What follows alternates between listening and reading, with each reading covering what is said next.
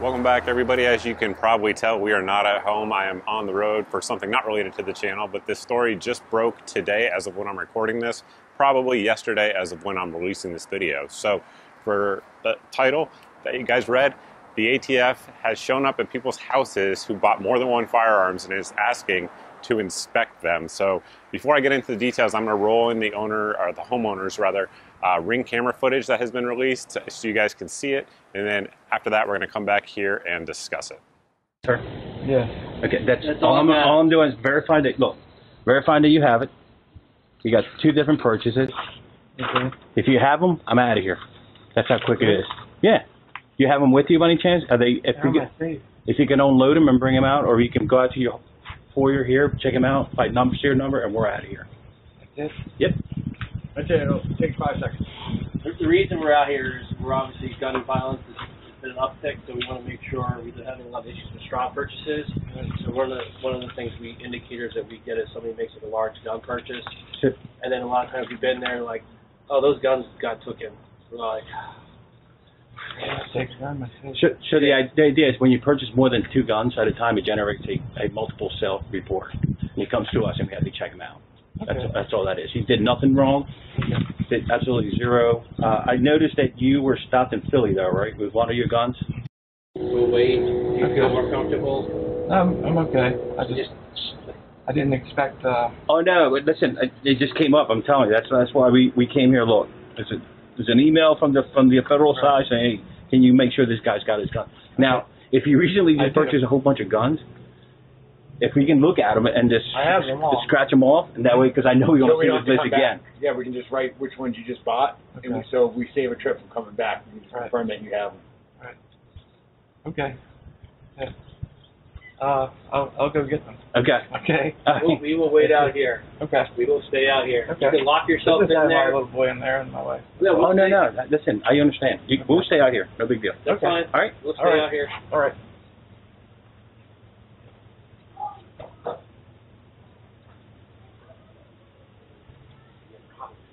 Yeah, I'm playing them. I'm playing them. Now that y'all have seen the footage, a few things I probably need to explain for newer folks out there. Uh, when you do buy more than one firearm at a time, it does generate a form which is sent to the ATF by your FFL. FFLs have absolutely no choice in this. They have to send it up. In fact, there's some FFLs that won't actually sell two firearms at one time specifically to not have to deal with this issue. Um, so, additionally, this ATF agent claimed that there were seven different firearms that he was interested in looking at. Uh, number one, uh, were all seven on one purchase order? Probably not. So with that, he probably went to the FFL and went through, or if they did an electronic file, or went through those records, pulled this guy's name up, all the serial numbers, make and model of each firearm, and he had them in his hand, as you guys could see in that video. Now, the ATF, as I've discussed in several videos, claims they do not have a firearms database.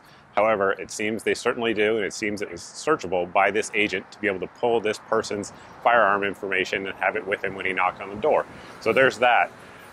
Next, we have to talk about Fourth Amendment. This gentleman has a right to simply close the door, ask them to leave, never come back, his property, uh, because obviously they're trespassing at this point, and uh, he chose not to do so. That said, the agent, I believe there's two ATF agents and one Delaware state trooper. That's, that's my understanding anyway. Uh, none of them, of course, read him his Miranda rights. None of them said he was charged with anything because he wasn't. They were just on a fishing expedition. Now, why is the ATF able to do this?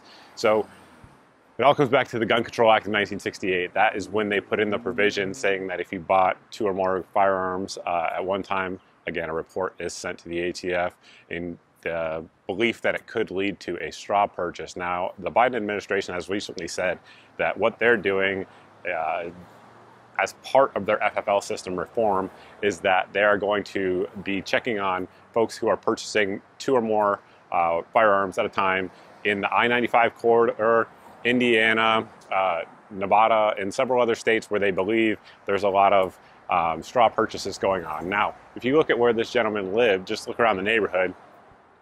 Not, I'm not saying that it can't happen there, but generally speaking, straw purchases happen for people in the hood. This guy appears to live in a decent neighborhood somewhere in rural Delaware. probably not the kind of place where you're going to see a lot of straw purchases. So it just goes to show are the ATF agents looking for people who might not be fans of this administration? Possibly. It's certainly possible. Um, and then, of course, like I said earlier, uh, the ATF has no right at all to show up to their door. So if this happens to you, one of two things I would recommend doing closing the door, telling them to go away, come back with a warrant, although, of course, they probably won't get a warrant, and then uh, call it, tell them to wait, call an attorney, have them talk to your attorney on the phone if you want to go that far. But in the immediate, I would just close the door. Regardless, what this shows is what this administration is doing. Again, weaponizing their agencies to go after people they don't like. And this is just the latest example. There has been many. And uh, looking into the article that I linked down below where I learned this from, apparently the author of the article had called the ATF, the, the police department that the officer uh, belonged to, and none of them were willing to give a statement. Wonder why. Seems they're not so proud of what they're actually doing. Anyway, with that, guys, if you like the video, go ahead and subscribe if you're not subscribed. If you have subscribed and you aren't seeing two to four videos a week here on the channel, make sure you hit the notification bell. If you've done that and you're still not seeing those videos, sign up for my email at the website here on your screen. This email goes out at most once a month and it has all the videos since the previous email. And that way, there's no big tech giant censoring your eyes from my content. If you like the deals and stuff like that that we post on various social media, uh, sign up for my daily deals email at the website that you see right here.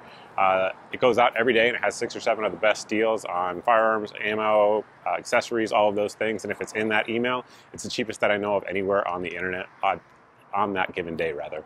Um, and that's all I have for you. Another unfortunate story about the ATF, ATFing, and uh, we will end the video there. Thank you all for watching. I truly appreciate it, and I look forward to seeing everybody in the next video.